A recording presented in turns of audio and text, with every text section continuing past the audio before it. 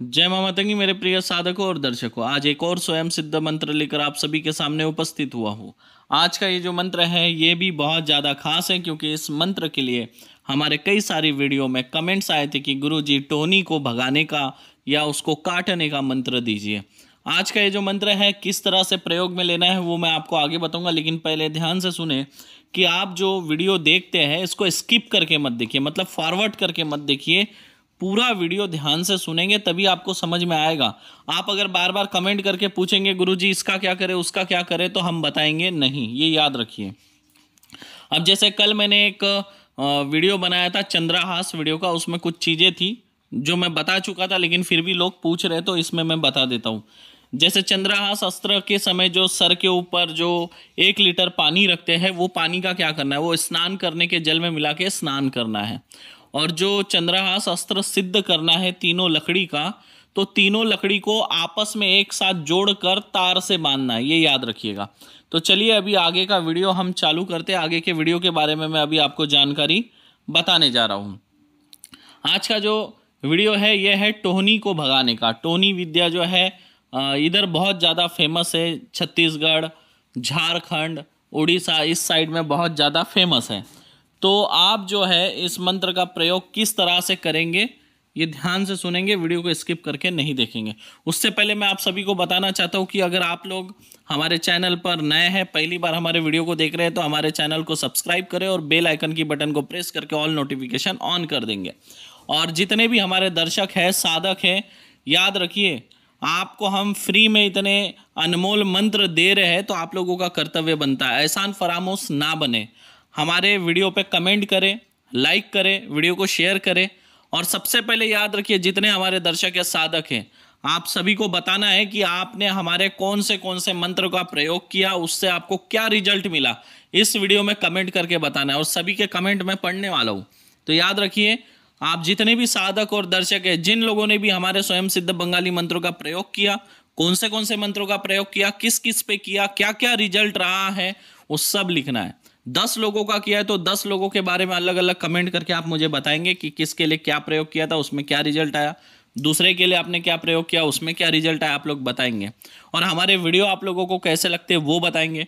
और किस विषय पर मैं वीडियो बनाऊँ, वो भी आप कमेंट करें तो उस विषय पे मैं वीडियो बनाऊँगा। आप किस तरह के मंत्र चाहते हैं, कौन से साधना का मंत्र चाहते हैं, कौन से कात्री का चाहते हैं, कौन सा अस्त्र का चाहते हैं और किस रोग पे, किस बीमारी पे, किस साधना से संबंधित चाहिए, आप कमेंट करें ना, तब मैं बनाऊँगा आपकी डिमांड को देखते हुए।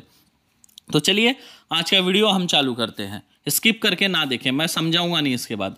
जैसे मान लीजिए किसी व्यक्ति के घर आप जा रहे हैं, उसके घर पे टोनी का साया है, ठीक है? सबसे पहले तो आप समझ लो कि ये मंत्र किस किस पे काम आता है। ये आता है डाकिनी को, शाकिनी, हाकिनी, परचारिनी, टोनी टोनी टोनी की विद्या, इतने प्रकार पे ये मंत्र काम आता है। लेकिन याद रखिए, ये जो मंत्र है, ये मंत्र केवल भगाने के काम आता है, उनको ना तो ख़त्म करेगा, ना उनको तकलीफ़ देगा। उनको इस मंत्र के उच्चारण से, इस मंत्र की क्रिया से उनको तकलीफ़ होती है और वो वहाँ से भाग जाते तड़पते हुए। ये एक चोटिल मंत्र की तरह है, आप समझ सकते हैं। तो इसका प्रयोग करने से वहाँ पे ये जो सब चीज़ें होगी, वो वहाँ से भाग जाएगी। लेकिन याद रखें, इसका प्रयोग कैसे करना है, ये भी आप समझ ले। हाँ अगर टोनी की विद्या, बहुत से लोग सोच रहे होंगे कि इन सबको तो भगा देंगे, लेकिन टोनी की विद्या, वो कैसे जाएँगे, उसको तो काटना पड़ेगा? नहीं। टोनी की विद्या भी अगर है तो भी इसके प्रयोग से वो टोनी के पास चले जाएगी। ठीक है? क्योंकि वो विद्या वहाँ रहेगी, उस पर अगर ये मंत्र का चोटिल होगा तो टोनी को तकलीफ़ होगी तो खुद ही अपनी विद्या को खींच लेगी। तो ये भी एक डाउट आपके मन से अभी क्लियर हो गया होगा। तो इसका प्रयोग अब ध्यान से सुने जिसके घर पे अगर ये टोनी हो गया, डाकिनी, शाकिनी, इनमें से किसी का भी अगर साया है तो आप क्या करेंगे? वहाँ पर जाकर जल लेना है। जल में आपको क्या मिलाना है? हल्दी मिलानी है। याद रखिए, हल्दी। और हल्दी उस घर की नहीं लेना है। हल्दी या हल्दी का पैकेट जो है, एक छोटा सा पाँच रुपए का अपने साथ ले जाना है, अपने पैसे से खरीद के ले जाना है।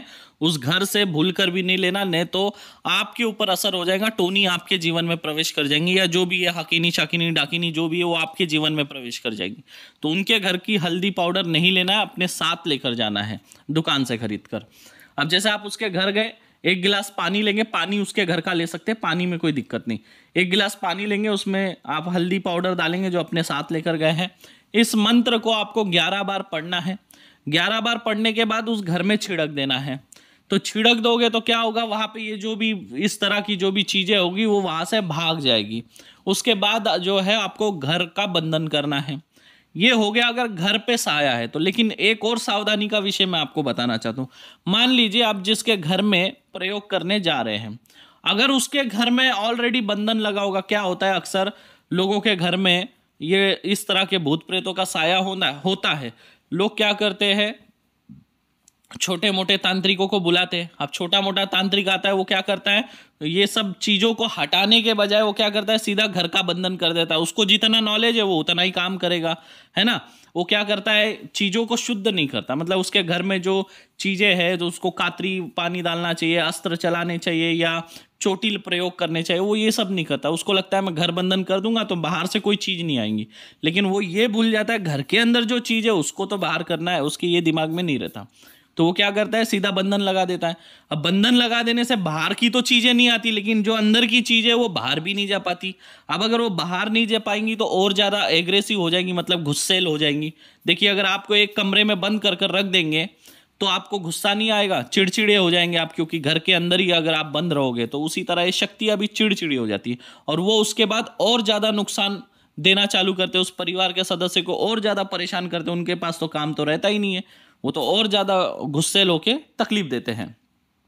तो याद रखिए, अगर आप गए किसी के घर में और उसके घर में अगर पहले से बंधन लगाए और उसके ऊपर अगर आप ये मंत्र का प्रयोग करके आ जाएँगे तो उस घर का जितने भी लोग रहते हैं उस घर में, उस घर के सभी सदस्यों का जीना हराम हो जाएगा।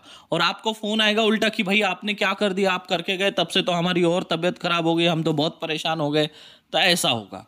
तो याद रखिए, आप इस समस्या से कैसे निपटोगे? मान लीजिए आप जिसके घर जा रहे, उसके घर पे पहले से बंधन लगे हुए हैं। तो अब आपको क्या करना है? सबसे पहले बंधन को काटना है। और बंधन को काटने के लिए क्या करना होगा? कल जो मैंने चंद्रहास मंत्र दिया है, उसका आप प्रयोग कर सकते हैं। चंद्रहास मंत्र का। या फिर आप पिनाक अस्त्र का प्रयोग कर सकते हैं।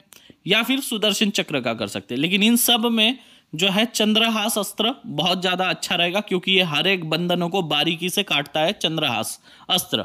आपको बता दूँ, चंद्रहास अस्त्र जो है रावण के पास था। और रावण को चंद्रहास अस्त्र किसने दिया था? बाबा भोलेनाथ ने, भगवान शिव जी ने दिया था। प्रसन्न होकर रावण को जो है चंद्रहास अस्त्र दिया था। और इसीलिए रावण के पास चंद्रहास अस्त्र था, करके देवता भी रावण से डरते थे। तो ये बात है। तो आप समझ लीजिए, जब रावण के पास चंद्रहास अस्त्र था तो देवता भी डरते थे। तो ये चंद्रहास अस्त्र कितना पावरफुल होगा अपने आप में। इसीलिए मैंने कल आपको ये मंत्र दिया है चंद्रहास अस्त्र का। ठीक है? अब आपको क्या करना है? मान लीजिए आपने ये तीनों में से कोई भी अस्त्र चला लिया, चंद्रहास अस्त्र चला सकते हैं, पिनाक अस्त्र चला सकते हैं, सुदर्शन चला सकते हैं। चंद्रहास अस्त्र सबसे बेहतर रहेगा, ये मैं बोल रहा हूँ। उसके बाद चंद्रहास अस्त्र चला लिया। उसके बाद आप एक कोई भी कातरी चला लो, बंगाली कातरी चला लो, मध्यमा कातरी चला दो, विरोधी कातरी, कोई भी एक कातरी चला दो। अब कातरी चलाने के बाद ये जो मंत्र मैंने दिया है इस वीडियो में, इस मंत्र को जल के ऊपर हल्दी मिलाएँगे जल में और जल के ऊपर ग्यारह बार अभिमंत्रित करेंगे और घर पे छिड़क देंगे। तो क्या होगा? उस घर में जो टोनी है, जो भी चीज़ें हैं, वो पूरी तरह से बाहर भग जाएगी। बंधन कटा तो बाहर निकलेंगी और आप ये पानी छिड़कोगे तो उनको चोटिल होगा तो वो और बाहर भाग जाएँगी मतलब उस घर में रुकेंगी नहीं। कोसों दूर चले जाएगी। उसके बाद क्या करना है आपने जल छिड़का, जल छिड़कने के बाद जो कील वाला बंधन जो दिया है मैंने घर सुरक्षा का, उससे उनका घर बंधन कर दो, या कोई और मंत्र है तो उससे बंधन कर दो। अगर आपको घर बंधन के और मंत्र चाहिए तो वो भी मैं डाल दूँगा। आप कमेंट करें कि घर बंधन का मंत्र दीजिए तो वो भी मैं आपको दे दूँगा। तो घर बंधन कर लेंगे। घर बंधन करने के बाद उनके घर की सुरक्षा हो जाएँगी। या फिर इसका और एक प्रयोग है, जैसे मान लीजिए आप किसी के घर नहीं जा पा रहे तो तब आप क्या करेंगे? तब आप उनको सेम यही प्रोसीजर है मतलब आप उनको एक अस्त्र का जल अभिमंत्रित करके दे देंगे दूसरा जो जल है, कात्री का अभी अभिमंत्रित करके दे देंगे, और तीसरा जो जल है, इस मंत्र का अभिमंत्रित करके दे देंगे। और चौथा जो जल है, वो घर बंधन का कर देंगे। मतलब उनको बोलना है, पहले जाएँगे, ये एक नंबर का जो जल है, अस्त्र का, ये पूरे घर में छिड़क दो। उसके बाद आपको बोलना है, ये जो कातरी का जो जल है, ये आप पूरे घर में छिड़क दो। उसके बाद आपको बोलना है, ये जो इस मंत्र, ये जो इस वीडियो में जो मंत्र दिया है उसका जल होगा तीसरे नंबर का। आपको बोलना है, ये जल जो है पूरे घर में छिड़क दो। उसके बाद जो घर बंधन का है, वो आप देंगे। और बोलेंगे, इसको घर में पूरा रिंगन बना दो तो घर बंदिश हो जाएगा। या और भी दूसरे चीज़ें होते हैं घर बंधन के, वो चाहिए तो आप कमेंट करें, मैं बताऊँगा उस बारे में। अब मैं आपको इसका और एक प्रयोग बता रहा हूँ। ये तो हो गए घर के बंधन के। अब मान लीजिए अगर किसी के शरीर में टोनी हो, डाकिनी हो, शाकिनी हो, हाकिनी हो, परचारिनी हो, ये सारी चीज़ें अगर किसी व्यक्ति के शरीर में हो, तब आप क्या करोगे? तब आपको वही करना है। याद रखिए, तब आपको कोई अस्त्र का जल उसको पिलाना है, उसके पूरे शरीर में छिड़कना है। और स्नान करने के लिए भी दे देना। बोलना बाद में स्नान कर लो, ठीक है? याद रखिए कैसे जैसे कोई व्यक्ति है वो आया उसको क्या करेंगे आप? सबसे पहले अगर आप उसके घर में जाके प्रयोग कर रहे हो तो उसको ये बोलना है जल लाओ। जल में आप क्या करोगे? कोई भी एक अस्त्र अभिमंत्रित कर दोगे। उसी जल में आप कातरी मंत्र भी अभिमंत्रित कर देंगे एक ही जल में ठीक है? एक ही जल में अस्त्र एक ही जल में आप आ, ये कातरी मंत्र अभिमंत्रित कर देंगे और बोलेंगे ये पानी आप पी लो और इससे स्नान कर लो। ठीक है? वो जब स्नान करके, पानी वानी पी के स्नान करके जब आएगा, उसके बाद जो है आप, ये जो मंत्र है, जो इस वीडियो में मैंने दिया है, डाकिनी, शाकिनी, हाकिनी, भगाने का मंत्र, इस मंत्र से जल अभिमंत्रित करना है, हल्दी मिलाकर, और उसमें आप क्या डालेंगे मालूम है? सोचिए क्या डालेंगे?